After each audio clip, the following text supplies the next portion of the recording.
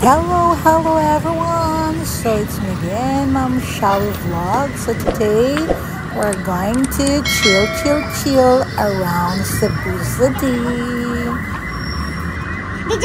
City.